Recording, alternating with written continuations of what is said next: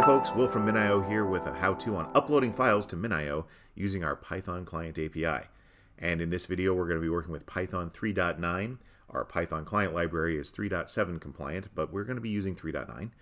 And we're going to be connecting to play.min.io, which is our online sandbox where anybody can work with the MinIO platform. All of this is going to be run out of VS Code, and on our agenda today, we're going to be taking a look at the fput object method and some of the variables you can use to upload a file to MinIO.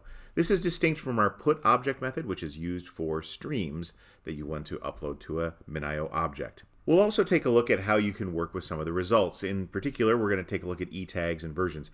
E-tags are really there to allow you to confirm that you are downloading the object you expected to download. It's like a hash code for the object itself. And then we're also going to take a look at our versions. And if you have versioning enabled on your bucket, you will be able to save multiple versions, each with its own version ID. Here in our code, I've imported MinIO. I've also imported this MinIO demo functions, which is a collection of functions that allows me to take some of the scaffolding to actually run this demo and put it somewhere else so that we can just focus on the exact methods we want to take a look at. And in this case, that method is the fput object method, as you can see here on line 12.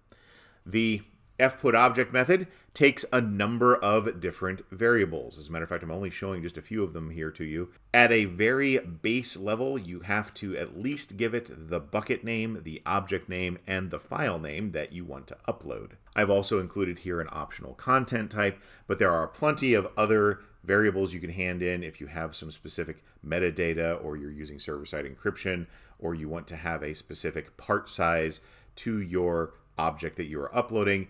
In this case, you can add those values as well to this call if you want to.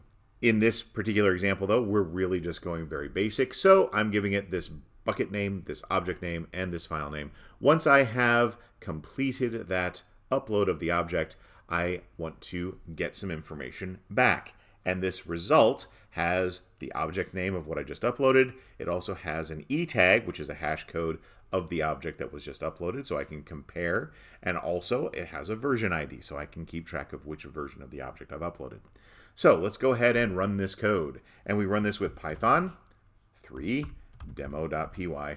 And when I run this, my image file is uploaded very easily, created image.png. It's got this e tag 965b la la la la la f786, and it's got a version ID of 3c5f la la la la la 28ce. So if I run this again, what you'll see is that the e tag will remain the same as a hash code of the object, but the version ID will change because I have versioning enabled on this bucket. So let's go ahead and run that again.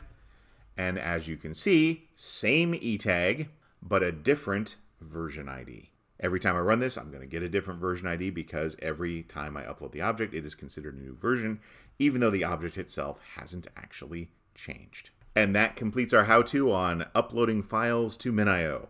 I hope you've enjoyed it. If you'd like to reach out with us, you can use any of the methods you see here on the screen. You can also chat with us interactively on Slack at minio.slack.com, or you can just leave a comment here on the video. Thanks, and we'll see you for the next one.